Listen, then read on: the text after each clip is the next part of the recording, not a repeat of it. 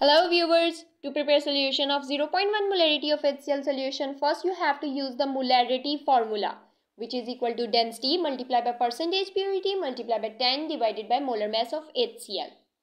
By using the values for density and percentage purity from literature, you will input here and calculate the molarity.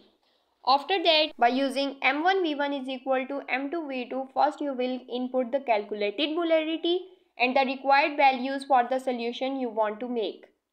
Then you can calculate the volume of HCl you need to take from the bottle which we have 4.18 ml. By taking 4.18 ml of volume of HCl from the bottle, we will transfer it to a 500 ml of volumetric flask because we need to make a solution of 500 ml. After transferring it, we will take the distilled water adding in this volumetric flask up to this mark. So by using this method, you can make the solution of any liquid.